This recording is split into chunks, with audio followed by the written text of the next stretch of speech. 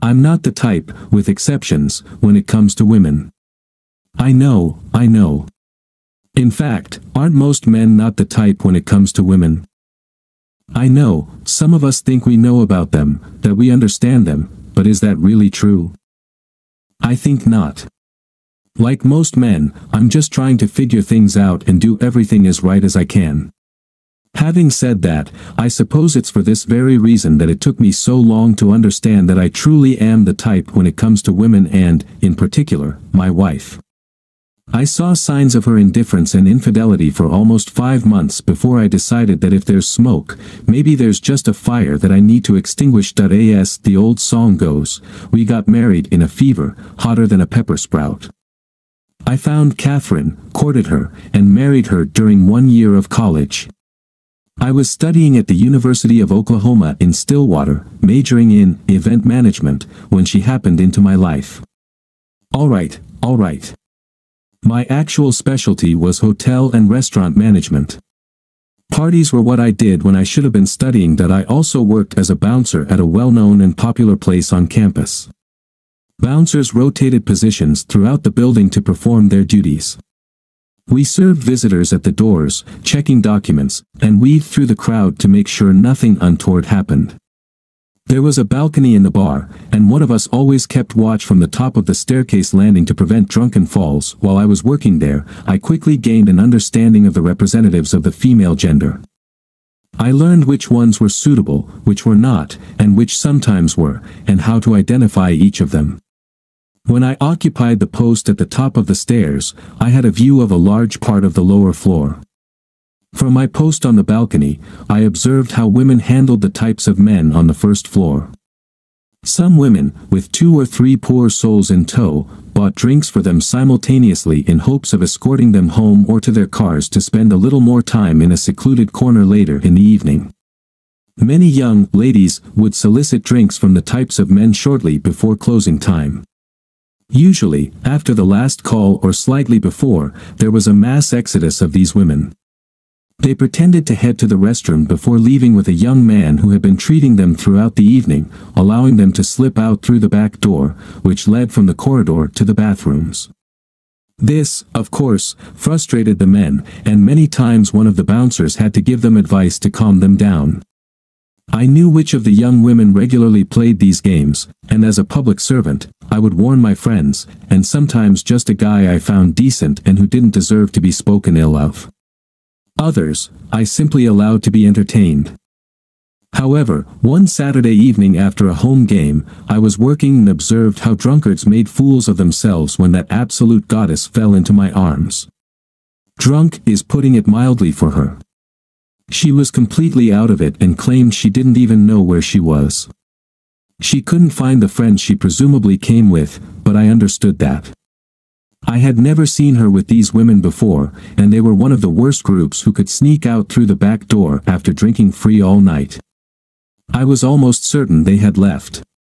It was after the last call, and they usually bolted when the last call was announced, around this time, when Catherine literally hung on my arm, a man approached, the one she had been soliciting drinks from. He looked aggressively at me and grabbed her by the arm. Come on, Kelly, he said. We need to get out of here. I was starting to think you'd vanished because of me. Well, it seems I now know her name. I was about to let her go with the young man when she came to her senses a bit and looked at him questioningly. My name is not Kelly, it's Catherine. Who are you? Why should I go with you? Where's Cindy and the other girls? I was supposed to go with them when the bar closes. The man simply pulled her by the arm and said, Kelly, Catherine, it doesn't matter. I've been buying you drinks all night, and now you're coming home with me. Catherine regained her senses and attempted to stand up and push the man away. She looked bewildered and said, eh, no. I don't know you and don't want to go with you. Now, leave me alone. The man tried to drag her away again, but she resisted. I decided she truly didn't know him and didn't want to leave, so I pulled her towards the bar and tried to stand between them. Hey, buddy, I said. Looks like the lady doesn't want to go with you. So why don't you just leave, as she asked, before we have a problem? A mask of hatred appeared on his face, and he shoved me. Back off, jerk. This chick is with me, and we're leaving. And now drop it, if you know what's good for you. I stepped back a bit, then grabbed him by the arms and swiftly spun him around, pinning him against the wall. He yelled in pain as one of my bouncer colleagues approached. You got trouble, Dave. Nope. This guy wanted to take the lady with him, but she didn't want to go. He didn't want to take no for an answer, but I think he understands now, doesn't he? Saying this, I pulled the troublemaker's arms a little further up, and he cried out in pain and rose onto his tiptoes. Oh, yeah, I get it. Just let me go, man. I escorted the man to the door and stepped out onto the edge of the sidewalk that I gently pushed him and said, all right, buddy, get lost. We've got your picture now, so I don't want any more trouble from you. Otherwise, next time we'll have to call security. I returned to the building and saw a couple of waitresses gathered around Catherine. She had passed out right in her chair. Damn, just what I was afraid of, Patty looked at me and said, Dave, Catherine lives in my dorm. If you help me get her back to the dorm and settle her into her room, I can take care of her from there. Well, that's what I did, and that's how I became one of Catherine's favorite people.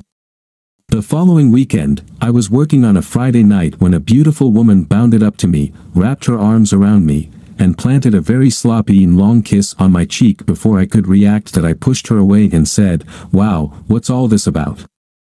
You saved me last Saturday. Patty told me you stopped that jerk from taking me home, then you drove us back to the dorm and helped her get me into my room. I don't know what would have happened to me if you hadn't saved me. I didn't even realize he and my little bitches pulled the old trick with drinks and sneaking out through the back door on the last call without me.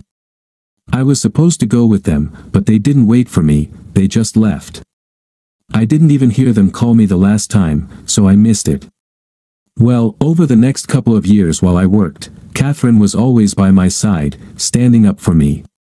We got to know each other very well and started dating a few months after I saved her. When we finished school, we got married. Catherine is just a little demanding. She loves parties and dancing, enjoys good food, and likes to drink fine wine. Everything's fine. We have great jobs and no kids, so we can afford it. We just can't afford as much as she wants right now, and it frustrates her when I tell her we can't go somewhere until payday. Some of our money arguments revolve around the fact that my parents are quite wealthy. They own a large farming operation and nearly four sections of farmland in our hometown. We also have a large year-round fishing and hunting resort. When I tell Catherine that we can't afford something, she almost always screams that if I weren't such an idiot, I'd get it from my parents. She thinks I should go back home and take over my dad's managerial position so we could make big money and be a big fish in a small pond. I've told her multiple times that I'm here, at this job, to gain some real experience and learn how the big boys do it before I go back to our company. The resort manager plans to retire in just three years, and by then, I'll take his place. But for Catherine, it's not fast enough that I began to receive snide comments about my ability to earn enough to pay our bills. Sometimes Catherine would leave work with her friends and come home battered. Many times over the past few months, I had to pick her up or pay for a taxi. About five months ago, all of this stopped. Oh, she still came home agitated, and many times I had to go to her office the next day to pick up her car. Sometimes I had to drive her to her favorite bar to get it, but I never had to pay the taxi or pick her up. Once or twice, I found her asleep on the floor in the living room when I came down the next morning. I wondered how she got into the house if she had passed out on the floor behind the door. Finally, after several arguments, I decided to find out what was really going on. I did what many men do in such situations. I bought voice recorders and put them in Catherine's purse, in the car, and even one in her office, hidden under the desk. I listened to our landline phone and bought the necessary equipment to copy her mobile calls, what I learned killed my love for her. She was having a sexual affair with one of the men she worked with. Many late nights and Saturday shopping trips with the girls over the past five months have been her liaisons with the old good-for-nothing Gregory Anders. He was one of those obnoxious salesmen you hate. Greg was arrogant. He had a slick smile and ingratiated himself with his best.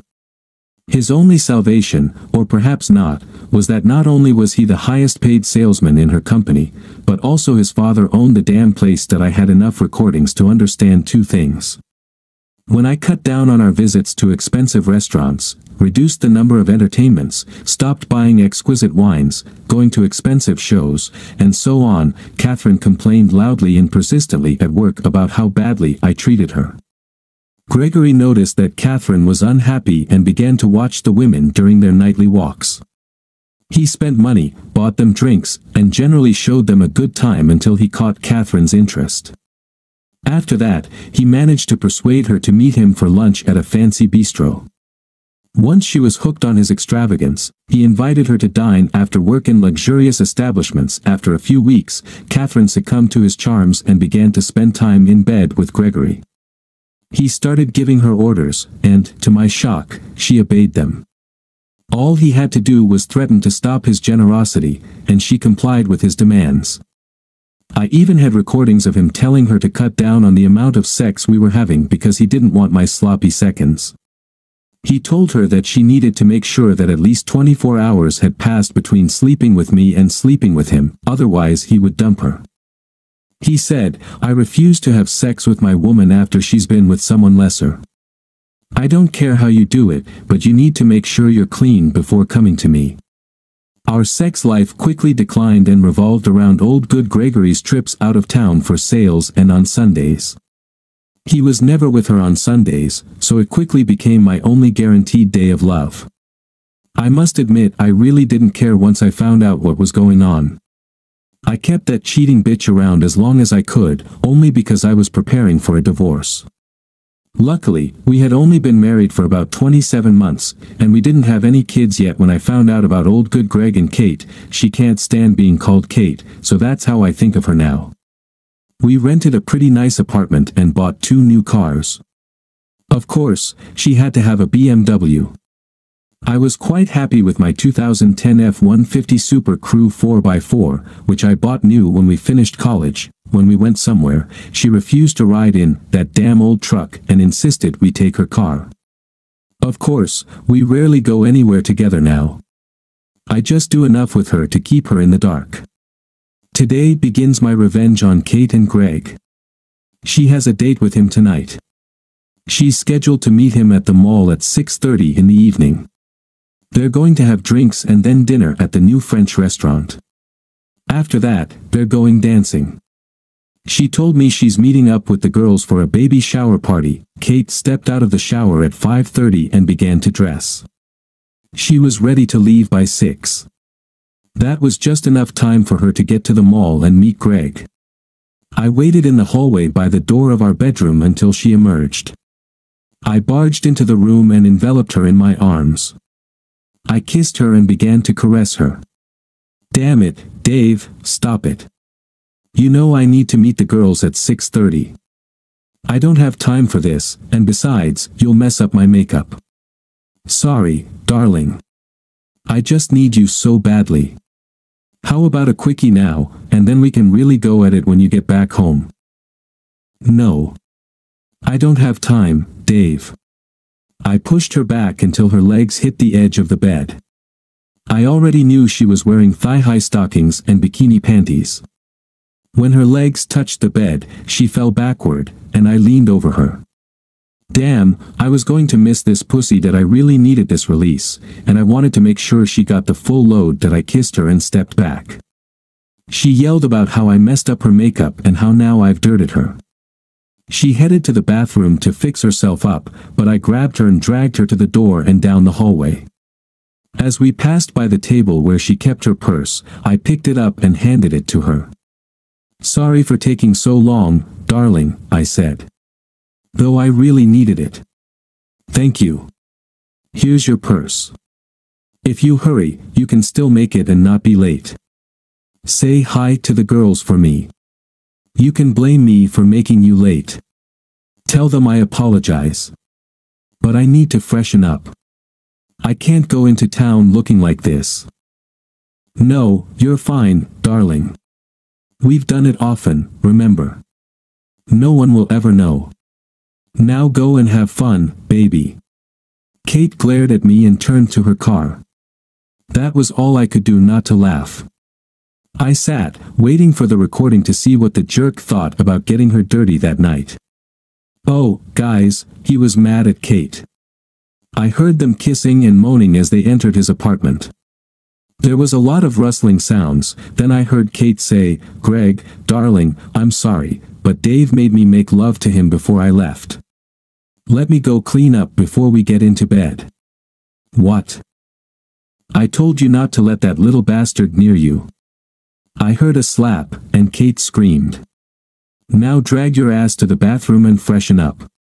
I couldn't hear anything else because Kate had apparently left her purse in the living room, and they were fucking in the bedroom, but inside, I was happy. I had angered old Greggy, and judging by the sound, maybe he even slapped Kate. I didn't see a bruise, so I assumed he just gave her a slap. The next two times I knew Kate was going to be with Greg, I made her sleep with me. In fact, every time she left the house, I made sure to leave a load in her in case she was really going to meet Greg, rather than doing the innocent thing she told me she was doing. Greg was getting angrier and angrier. He called her a cheater and other horrible names. Almost every time she cried before he roughly took her. It was so cool. I would sleep with her and she would leave the house crying in fear of Greg, then he would be rude to her and yell at her and she would cry even more. As far as I know, he hasn't hit her again since that first time, and I suspect it was just an ass spanking, although the last time she was with Greg was bad. I had had enough, and I decided that my revenge was over. I arranged everything to hand her the divorce papers during her Saturday date. I even provided Greg's wife with copies of the recordings and photos I had. No, I didn't have photos of them engaging in dirty deeds, only of them dining, dancing, and kissing in his car. That was enough. I paid extra for Kate to be serviced after they reached his apartment in the city. It was actually an apartment rented by his father's company for corporate visitors. Both Greg and his father used it for their affairs with women they weren't married to. Oh yes, I was also enough. Oh, yes, I was also kind enough to send Greg's mother photos of his father and his secretary fooling around. Damn, why not be a good guy? The staff greeted Greg and Kate in the condominium lobby. After he serviced her, he handed Greg a letter that I prepared for him. The server processing said to Greg, I was instructed to deliver this letter to you, Mr. Anders. Mr. Stevens outlined his actions to you so that you know what has been happening in the past few months and what you can expect when you return home next time. In the letter, I explained what documents I had against him and Kate, and that I provided them to his mother and his wife. I also asked him if he enjoyed getting my leftovers from Kate. I told him that I made sure that every time she went to him, I sent him a piece of myself so he could play with it that I'm afraid Greg got so angry that he hit Kate. He managed to hit her twice before the guard grabbed him and dragged him away. I heard it, and I heard the guard calling the police and an ambulance for Kate. I felt sick. Yes, I wanted to hurt Kate, but I didn't want her to suffer physically. I just didn't know Greg would actually try to beat her. About an hour later, I received a call from the hospital. They wanted me to come, fill out some paperwork, and bring Kate home. I laughed and said, excuse me, ma'am. I can't do that. Kate and I are getting divorced, and she doesn't live with me. Why don't you call her lover and ask him to pick her up? Oh. Well, I suppose I can do that. What's his name? I gave her Greg's name and phone number. She paused for a moment, then said, um, sir, I'm sorry, but I can't call Mr. Anders. Your wife is in the emergency department because Mr. Anders beat her badly tonight. I believe he's in jail now, sir. Okay, here are two more phone numbers. Maybe one of them can help. I gave Kate's parents phone numbers and one of her two best friends. I don't know who picked her up. I hadn't heard anything about her for almost four days. On Wednesday evening, I left work and found Kate waiting for me by my truck. When she saw me, she slowly got out of her car and approached me. Kate had tears in her eyes as she stood before me. David, darling, she said. Can we please talk about everything? Please. No, Kate. There's nothing much to talk about. You cheated, and I caught you. Now we're getting divorced, I said. But I don't want a divorce, Dave. Can't we just end this? I have nowhere to go. Please, I need to come back home. I promise I'll do better if you just let me come back home and let me make it up to you. No, that's not going to happen, darling. I heard Greggy had to move into your little love nest. Why don't you move in with him and his daddy? I bet they'd be happy to take care of you. I walked around Kate and got into my truck. As I closed the door, she stood there crying. She didn't move until I was out of sight and now another thing I didn't understand about women. Kate worked full-time and made almost $36,000 a year. Why didn't she have enough money to rent a place like me? Why did she move into that damn apartment with Greg and his father? I don't know. What I learned from the police report is that Greg and his father beat her so badly that she died after three days in the hospital. She obviously angered them when she refused to let them both have sex with her. She thought she was Greg's mistress, and they would get married after the divorce, according to the statement she gave to the police before her death, now I really feel like shit. Kate destroyed our marriage in search of a better life. I killed Kate with my stupid revenge. I raised my eyes and said, bartender, give me another one. I need to end this shit. I floated, and the world spun, and then damn mule kicked me in the head. There were dozens of people standing over me. I peeked under the short skirt of a goddess. She looked down at me. Shock reflected on her face, and she dropped to her knees beside me. David, is that really you? Why the hell are you so drunk that you fell off your bar stool? Patty? Yes, Dave. I would ask how you're doing, but I don't think you're in any condition to tell me. Let's get you up and see if we can sober you up a bit, Patty and one of the bouncers helped me to her booth. She gave me some coffee. I made two trips to the bathroom to get rid of the coffee and most of my insides. Thank God I didn't have to clean up after myself after a couple of hours, at least I was able to speak without much trouble. Patty demanded an explanation of what I was doing so drunk. I told her the whole story you just read and said, so, you see Patty. I killed her. I don't know what to do now. I hated her for what she did to me, but I didn't want her dead. Patty sat in shock. She stared at me with her mouth open. Finally, she reached out and hugged me tightly. Dave, some of what you did was pretty rotten, but you didn't kill her. That bastard Greg killed her. You couldn't have known he would do that.